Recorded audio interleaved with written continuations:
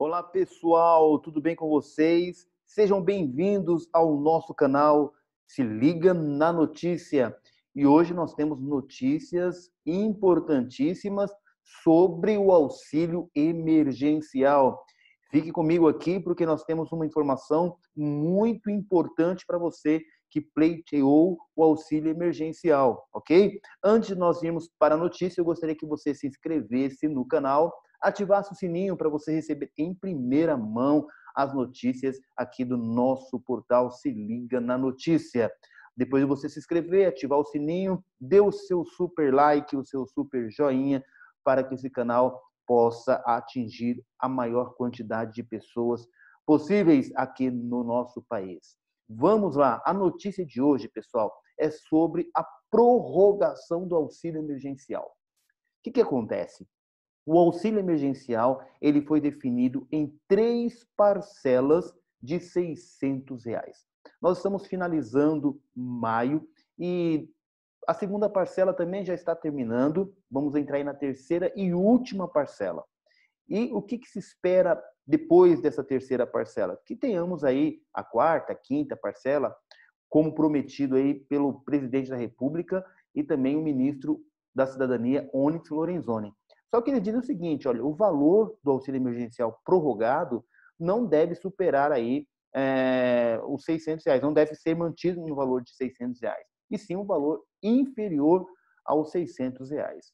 A 200, 300, o presidente da República não deixou é, claro o qual seria esse valor, até porque a equipe econômica diz que custaria cerca de 35 a 40 milhões de reais a prorrogação do auxílio emergencial. Mas, no entanto, existe alguém aí, uma, uma, um conjunto de pessoas no Congresso que estão batalhando para ter uh, o auxílio emergencial elastecido e com o mesmo valor.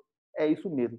Já se cogita no Congresso Nacional, já se mobiliza os partidos uh, no Congresso Nacional para que se elasteça o auxílio emergencial e com o mesmo valor. Vamos para a notícia. Olha que notícia interessante de hoje aqui no G1. Auxílio emergencial, partidos na Câmara articula ampliar prazo e manter o valor de 600 reais. Ainda que o presidente da República, Jair Bolsonaro, disse que haverá pagamento da quarta e talvez a quinta parcela do benefício aos trabalhadores informais, mas em um valor inferior aos 600 reais. No entanto, gente, líderes partidários na Câmara dos Deputados articulam a votação de uma proposta para ampliar o pagamento e manter o valor do auxílio emergencial de 600 reais. Então, a ideia é que essa articulação no Congresso vai contra aquilo que a equipe econômica federal está planejando para o auxílio emergencial. Enquanto a equipe econômica, juntamente com Bolsonaro, planeja a, ter, a quarta e a quinta parcela no valor inferior a 600, aqui eu tenho que o Congresso vai batalhar, e eu acho justo, batalhar para que a população receba, de repente, a quarta e a quinta parcela no patamar de 600 reais ainda.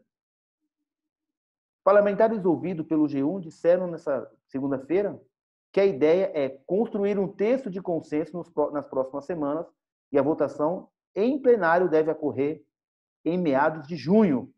Informação muito importante. Vamos torcer que o Congresso realmente aprove essa medida e que permaneça os 600 reais. Então é o momento de você cobrar o seu deputado federal, cobrar o seu senador, em quem você votou, porque vai estar nas mãos deles essa decisão de realmente prorrogar o auxílio emergencial por mais um, dois, três meses e que o valor seja mantido por 600. Nos bastidores, a avaliação é, é que a discussão sobre a matéria poderá servir como um termômetro da sintonia das legendas do Centrão com o Palácio do Planalto. E aqui, olha, inicialmente, quando o programa foi anunciado, a equipe econômica queria que a ajuda fosse paga no patamar de 200 reais.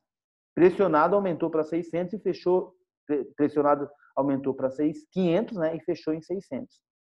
Então, essa foi a notícia do dia.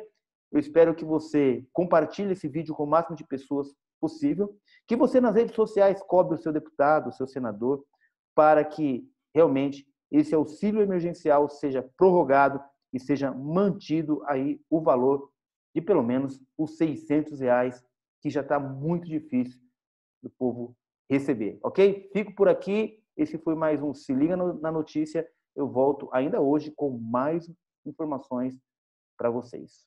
Forte abraço e até o próximo